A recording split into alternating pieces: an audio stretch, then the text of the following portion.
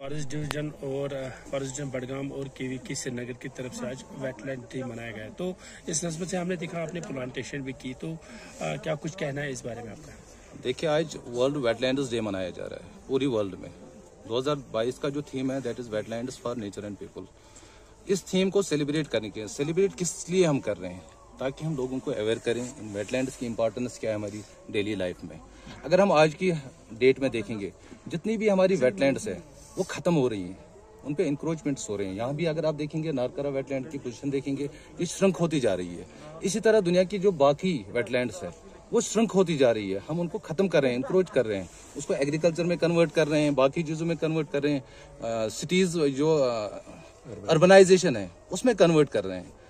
अगर हम देखेंगे इनका, ये अगर श्रंक हो जाएँगे तो हमारी लाइफ पे इसका असर क्या होगा? अगर हम देखेंगे जो फ्लड्स आते हैं इन मार्शस या स्वैप्स या वेटलैंड का काम है कि उस फ्लड वाटर को ये रिटेन करें।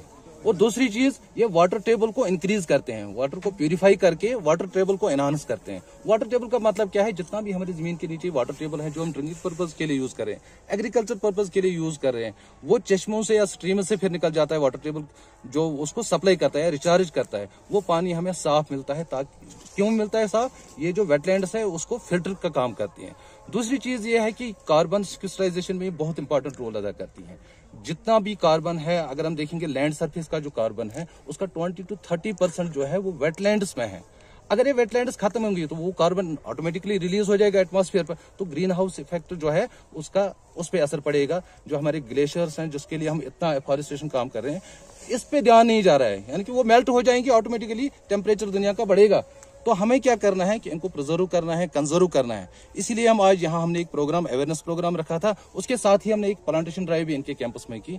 इसका मेन मतलब जो था जितने भी लोग हम यहाँ जमा हुए चाहे वो फॉरेस्ट से थे या कृषि विज्ञान केंद्र के थे साइंटिस्ट यहाँ पे थे या बाकी लोग जो आए थे इस प्रोग्राम में उनको यही मतलब था यहाँ हम, हमें जमा होने का कि इन लोगों को अवेयर करें इनकी इम्पोर्टेंस क्या है। थैंक